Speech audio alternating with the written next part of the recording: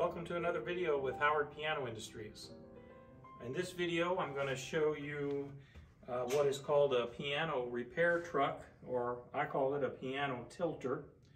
Uh, this is an old one. Uh, it's been through a lot. Uh, you can see somebody's put a plate on here and sprayed it uh, to, to regild the plate to the gold uh, spray paint. Yeah, but this, uh, we sell these, uh, the ones we sell are newer and look a little nicer than this, but uh, basically the same, same uh, design. So this is uh, uh, designed to fold up so that it's a little more compact and you can put it in a van or, you know, travel with it if you need to take this to a customer's home. Um, so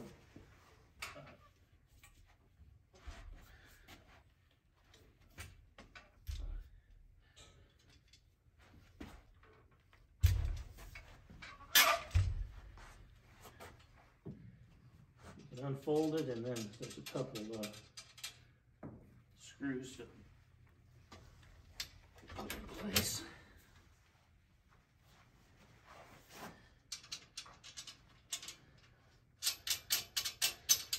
And the purpose of this is to uh, allow you to tilt an upright piano on its back so that the piano is vertical and the strings are vertical and it allows you to uh, do work uh, on the, the, piano in a little more convenient uh, position.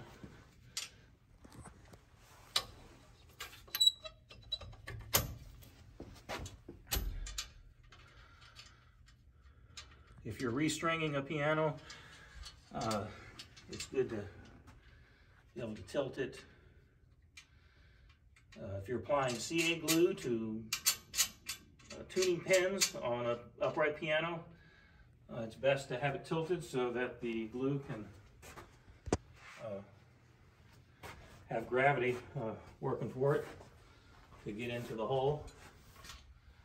So the way this works is it just has a couple of uh,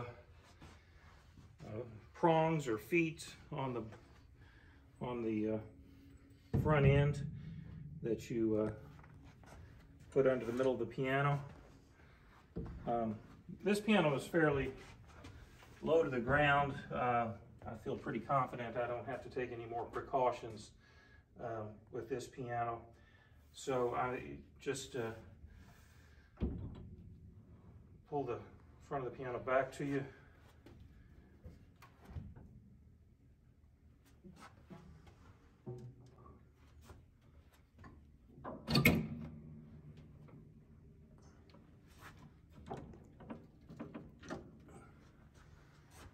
It's as simple as that.